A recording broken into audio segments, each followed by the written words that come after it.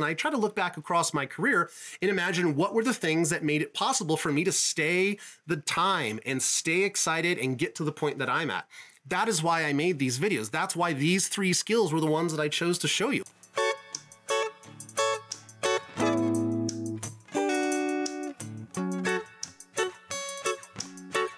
Friends, CloudBart here, and as the name implies, I'm pretty into cloud computing. Not just Amazon Web Services, even though I got the cool little swag on from reInvent, but any sort of cloud service. I love managed services. I love the notion of enablement. I love the notion of being able to democratically make new innovative technologies available to people who need it so that they can do awesome things with it and we can keep pushing this industry forward.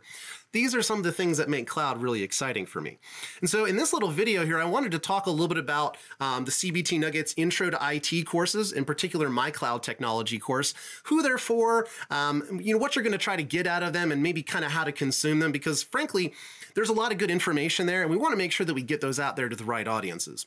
So what I usually try to get started with in the cloud conversation is recognizing that unlike a lot of other technologies that you may have or may have not run into over the years, um, a new authentication mechanism or a new data store or a new server platform.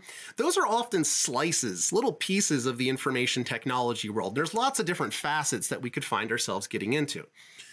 What's weird is that when people start looking at cloud computing, they try to follow the same pattern. They're like, okay, what slice of information technology is cloud computing? and if you try to apply that analogy there, you're going to find it doesn't work very well. And that's because cloud computing is really more of a superset of technologies than it is any one particular slice.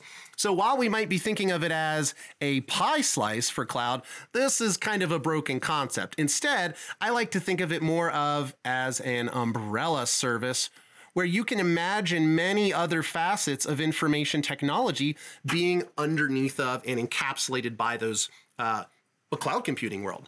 And so this is really the part that was exciting for me because as I got into the cloud computing industry, I realized just how fantastic a vehicle was for exploring the information technology world. And when I look back over my career, part of the most important things that I did along the way was look for emerging technologies look for a way to be involved with those emerging technologies, and then get trained and jump after those technologies and build careers out of them. In fact, interestingly, at my one of my first gigs at Lithia Motors, I created a position for myself simply by being there, making sure that when they installed their voice over IP system, I followed those installers around all the time sometimes not getting my tickets closed the way I was properly supposed to be.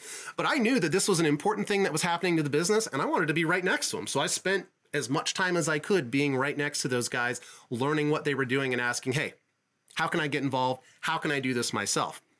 So cloud computing allowed me to continue doing that same exact thing. Look for new technologies, look for ways to get involved, get trained, and build something out of it. So fast forward a bunch of years later, now I'm training across a whole bunch of different cloud technologies. And when I just think back over the last year of what I've done with just my AWS content, I've covered databases, I've covered virtualization, I've covered web architectures, I've covered security, I've covered data analytics, I've covered countless other subjects all underneath of the umbrella of cloud computing. And I think that this is really, again, one of the most powerful things about the cloud computing industry. So I really try to encourage people, again, don't think of it as a slice of the pie. Instead, think of it as an umbrella that encapsulates really almost all facets of the information technology world. And really, if you ever read up on cloud computing, you're going to find people call it a disruptive technology. This is exactly part of the reasoning behind that terminology. We say it's disruptive because it touches all of the aspects of information technology and it offers something for everyone but be careful. It's not ever going to be everything for any one particular organization. And so this is exactly the road that I get to walk as a solutions architect, helping people navigate what is and is not a good fit, making solutions alignments across the myriad tools that are available from AWS, Azure, Google Cloud, and of course, on-prem hybrid style solutions as well. Now, hopefully you're maybe getting kind of excited here thinking, well, that, that does sound kind of cool. Maybe I, I would love to explore technology through an industry that allows me to dig into different types of specialties and different types of arenas. How do I do that? Now, this is exactly where the CBT Nuggets Intro to IT courses come into play. Back in early uh, January, maybe it was spring 2019, we released a series of Intro to IT technology courses on the CBT Nuggets YouTube page.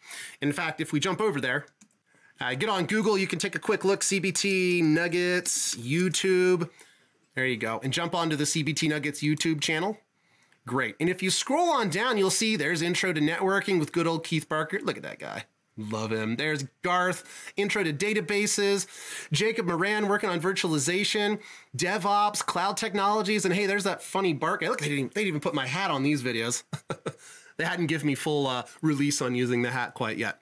Um, but here we are, Intro to IT. The goal here, and we kind of called these our bridge courses originally when we created them, the goal was just to help connect the dots between people who are maybe sticking their foot in the water, maybe testing the temperature of the IT industry and figuring out what part of this huge monster of an industry do I want to be a part of. So this is kind of the first thing to keep in mind. If you're, you're if you're new to IT, definitely the right model here. We're not trying to lay a bunch of heavy information on you necessarily. In fact, when we put these courses together, the goal was step one, get people excited about technology. now, that part's usually pretty easy because people like their gadgets and they like their tech stuff, but getting them excited about working on and supporting these tools a little different aspect. And of course, here at CBT Nuggets, we put all that personality stuff out there and we really try hard to be enthusiastic and get people excited about this industry because because I'm excited about it. I love it. Keith loves it. Jeremy Charles loves it. Network Chuck loves um, these industries that we're a part of. And that's one of the things that really makes a difference with the type of training that we provide. So jumping into the intro videos here will give you a chance to kind of experience some of what we believe to be the interesting parts of these industries because we want to get you sold on it. We want you to believe that it is something that's going to be worth the evening studying at home. It's going to be worth the time reading those books. It's going to be worth the time to watch those videos. It's going to be worth the time to make that payoff happen down the road. That is what we really wanted to do with these videos, give you enough oomph to get you through that initial push.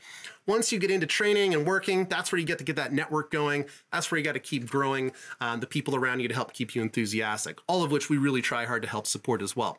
Now, one of the interesting things that happened here is when you look at my Intro to Cloud Technologies playlist here, um, they kind of made me assign titles like what are cloud technologies? What jobs are available? What cloud skills are essential? And uh, indeed, this cloud skills, essential cloud skills lesson here was one that I got kind of beat up on um, quite a bit. A lot of people were watching this and they're like, wait a minute, what skills is Bart telling us that we need here? This doesn't make a whole lot of sense. In fact, if you scroll back to the beginning of the video, here you go. Boom, tools, communication, and problem solving. Now, you might be looking at that list thinking, where was Bart going with this? Cloud computing skills? And indeed, if you read through some of the comments, a lot of people are like, what a waste of time. This wasn't worth it. and I think it was just a problem with the audience in the job titles here. Because what I was trying to say here wasn't what skills do you need to be successful in cloud computing, but rather what sort of things should you be interested in in order to make the long term commitment to staying involved in this? Because let's face it, you can go and learn networking. Sure, that doesn't necessarily keep you excited about cloud computing in the long term. You go and learn about databases. And again, same thing true. That may not be enough to keep you excited over time. So in this lesson, I was trying to instill the notion that you want to love tools. You need to be passionate about communication and you need to be passionate about problem solving. If you are interested in those things, then information technology as a whole has a lot to offer you. And that was really what I was trying to get across in this particular video. I wasn't telling you to learn what a tool is or what communication is. I was just trying to get us excited about the importance of those particular traits. If you can develop a love of tools, communication skills and those problem solving skills, you're going to do very well in the information technology world. And really, all of this kind of comes back to me thinking about what made the difference for me throughout my career. Okay, because I've had a career that has led me to a point where I have a job that I very much enjoy, uh, that makes ends meet in the way that I want it to, and gives me an opportunity to sit here and gas about all this fun stuff with you guys here on the internet. So I think myself to be fairly fortunate to have been able to come across all of this. And I try to look back across my career and imagine what were the things that made it possible for me to stay the time and stay excited and get to the point that I'm at. That is why I made these videos. That's why these three skills were the ones that I chose to show you.